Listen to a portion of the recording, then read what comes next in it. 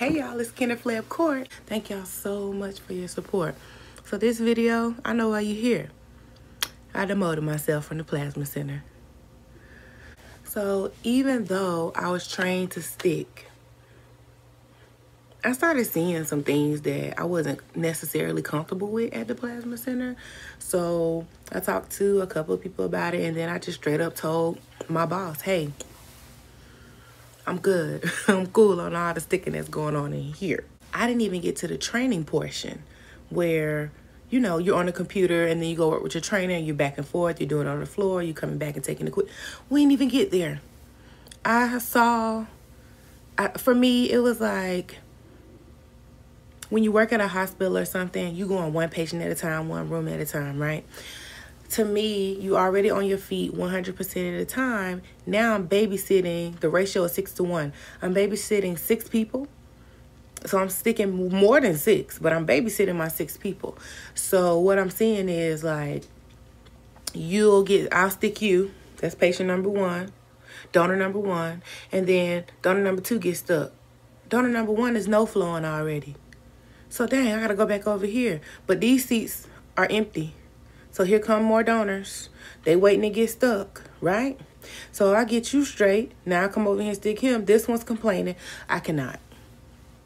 Like for a dollar and 11 cent less, I'd rather set the machine up and tear it back down. Why not? This is, once again, this is my part-time job. I'm already on my feet it's cool. I still get to talk to the donors. I still get to interact with them. I still get to do things with the machines and the people. Like, it's cool.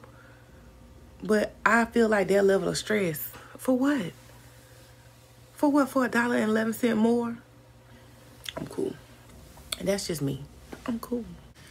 When you got people telling you, yo, this ain't even real phlebotomy, like, what you learned in school, you only to be using like 10 to 15% in here what?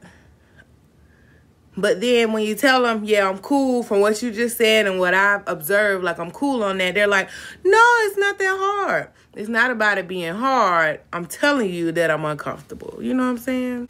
So, of course, my trainer was like, why you don't want to stick? I'm like, yo, I'm not scared because I have another job where I stick. I just don't feel comfortable here. So she kind of understood because of the type of donors that we have.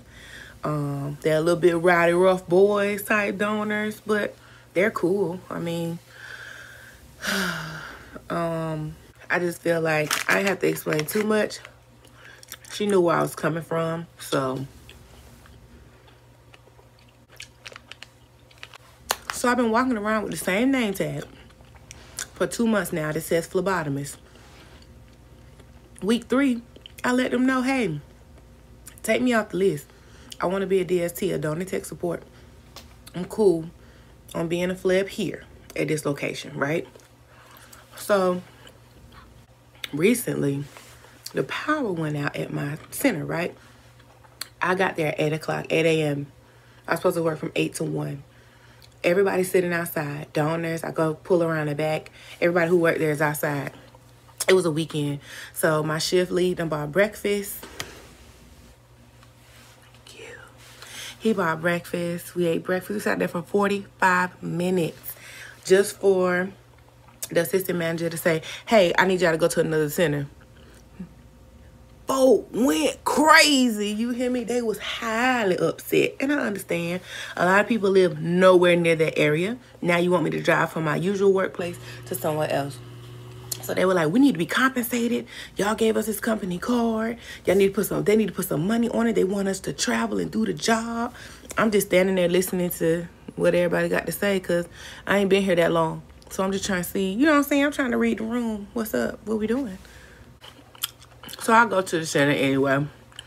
And when I pull up, like, all the people that are supposed to be there, they were there. So they talked all this shit for nothing, right? So we um we work. We work the whole day. And like the people who actually work at that center, they start coming in. They reading my name tag like, hey, you a fleb? Yeah, you want to stick? And I, um, no, no, don't look at my name tag because it's not right. It's not right. They changed it in the system as far as pay. But on the schedule, it still says Fleb. On my name tag, it still says Fleb. And I'm thinking, this is exactly why I said to change my shit weeks ago. A month ago at that point. Um, I left at 1 o'clock because I thought I was supposed to. But somebody said somewhere that there was supposed to be me working until close. Me and these little legs that work part-time, we're not working until close. I don't know where they saw that at. I called, tried to check on the schedule. Nobody picked up. So it is what it is. Um, so that's why I demoted myself.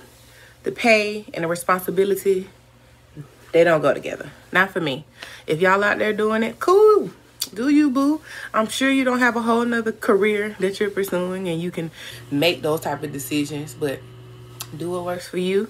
Thank y'all for watching my video. Give me a thumbs up. Like that thing down there. Thank you for y'all support and enjoy your.